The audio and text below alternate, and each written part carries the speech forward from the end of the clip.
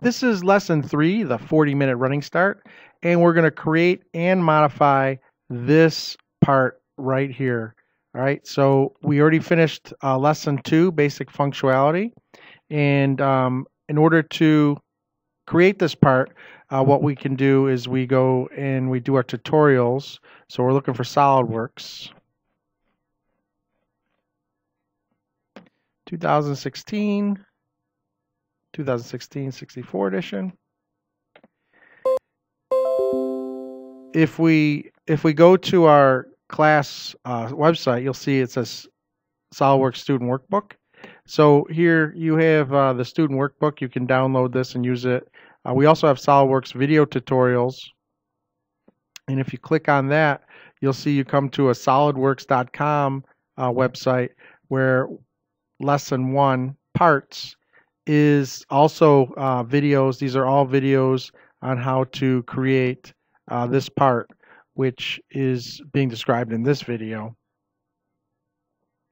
um, right here. So we have SolidWorks open, and uh, we're going to do a, a new part. And uh, what we want to do here is we want to go under Help and SolidWorks Tutorials. And we're looking at Lesson 1, Parts. Uh, it takes 30 minutes to do this step by step. So um, uh, we come in here and it's telling us how to start uh, new, uh, which we already did, and how to save it, which we should already know how to do it. Uh, creating the base, so uh, we want to look at the front plane, and we want to sketch a rectangle, and we want to go right off the middle part here, and we want this to be smart dimensioned 120 millimeters by 120 millimeters. And then we're going to um,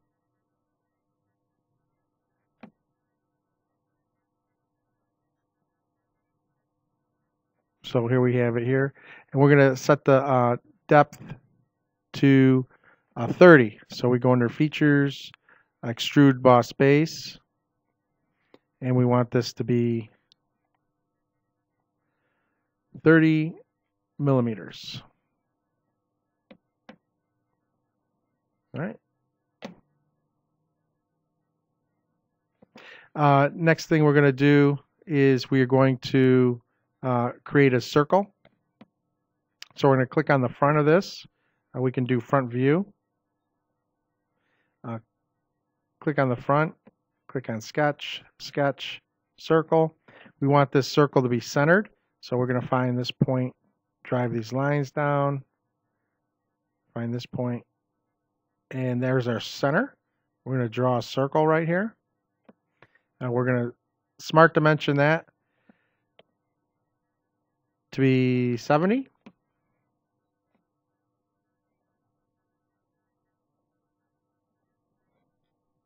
70 millimeters. And uh, this is going to tell us, it wants us to um, smart dimension this uh, from here to the top. And it's already 60 because we already centered it at 60.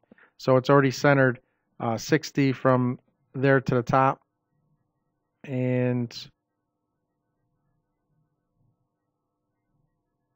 from the side to the center is all already 60 already. So we already have these dimensions in there. Uh, now what it's going to tell us to do, we can do that dimensions, features, extrude boss base. Uh, we can hit the, uh, what we want to do is kind of look at it at a uh, isometric view. And uh, it says that we want our depth to be 25.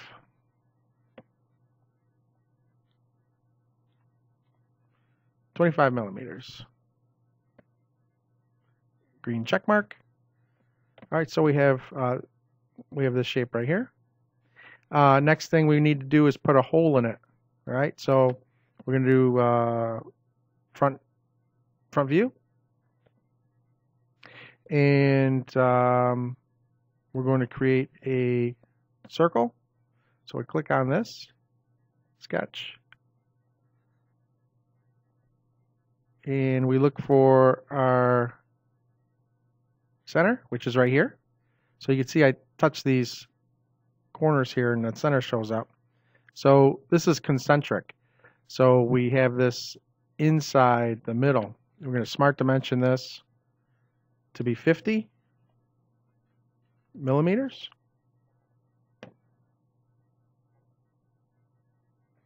And then we want to uh, features, we want to do extrude cut. We want it to be through all. So now I'm going to do an isometric view again so we see what we have here. So you can see we have uh, this condition through all. We got it all set there. So uh, next thing we want to do is we want to create fillets, uh, five millimeter radius. So we come over to our fillet and um, we want this to be five millimeters before we get started. Five. And we're going to click on that. We want to see full preview so we see it getting uh, rounded out.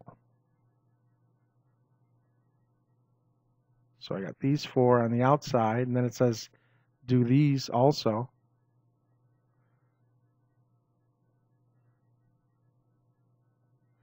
So I could have I could have easily rotated this this around.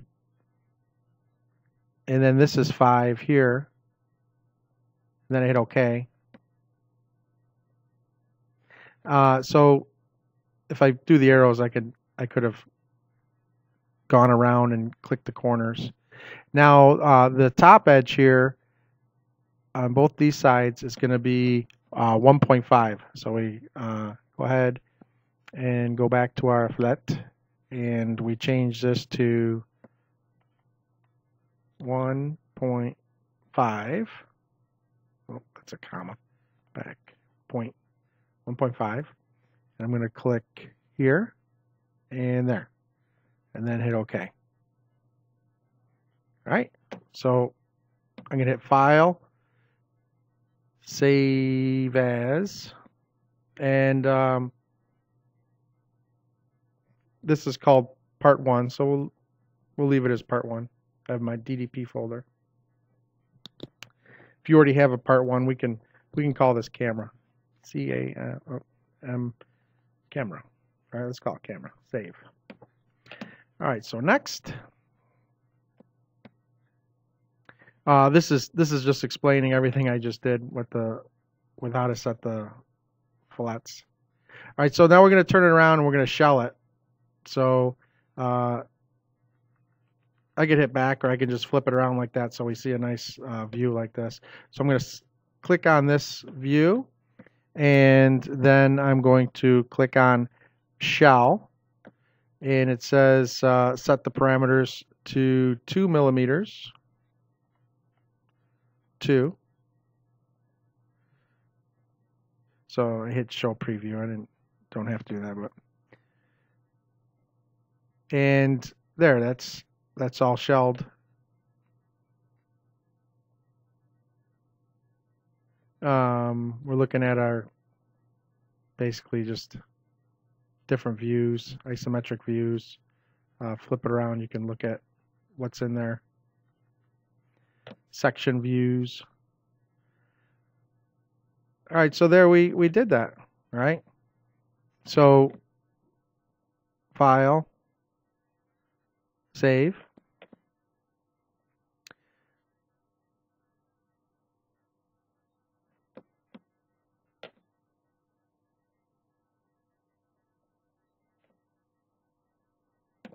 Okay, let's see uh, what they're going to ask us to do here is uh, they're asking us to uh, edit this. So this is uh, at 30 millimeters, and they want us to change it to 50 millimeters. So uh, what we're going to do is we're going to come over here, and uh, this this one, Boss Extrude 1, is this part, our first part. So if you right click on that and then come up to edit feature, then you'll see we could change this from 30 to 50 and this makes this larger. And then when we when we hit the check mark it just made that larger right? So it just it just changed it for us. So then we could hit file and then save. So now this is 50 millimeters instead of 30 millimeters uh, we can go through and we could edit um, our fillets also so I had the uh, fillets here. We're at five millimeters, and it says to change it to uh, 10 millimeters. So if I if I come up here to edit this and change that from five to 10, uh, you could see that it made it larger. All right. So now I have a larger one. So I changed it from from five to 10 then click OK.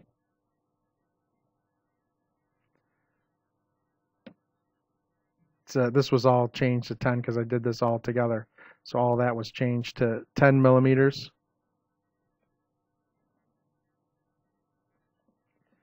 And it also tells you that we can uh, we can do things um, with our shading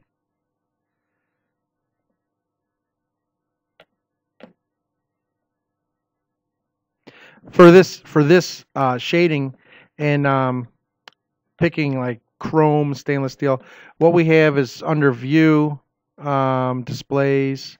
Uh, we don't have the real view graphics here right now, so but we can we can do things. We can um, pick edit the appearance here, and uh, we can pick a color, uh, say red, and you can see you can make it red or blue or purple or any of those, or you can even texture it uh, different textures. Um, and you could change the colors of those textures too. So we can go ahead and, and make this uh, a color. And you could see that it puts it throughout the film. So congratulations, we've just completed uh, the first tutorial. Um, so that gives us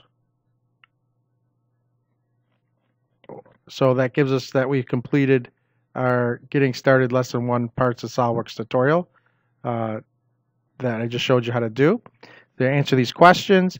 And then this tells us um, calculating it, change, uh, this is 75, you want it to be 100. And it says go ahead and modify the part uh, like we just did so that the part depth is 100 millimeters instead of 75. So, in keeping this 50 uh, this part 50. So we want to change this uh, from 25 to 50. So we'll go back to our SolidWorks, and that's our second extrude. And we click on that and do edit. And then you could see this was 25. So we can change that to 50 and go ahead and hit the check mark. So now that's out 50. So we can change those back if we want to change it back so that's so that's what we do there and uh, change the depth of the boss so that its overall part is 30 just 50 just like we said. Uh, then there's some math you have to do in here. Uh, this part it says uh, that we should measure a jewel case. So I have a jewel case and I'll give you the numbers for that. Uh, we're gonna have to create uh, that jewel case uh, and the storage. We're going to create those two parts, make a model CD jewel case. So I'm going to do that right now. Uh, file, new, part.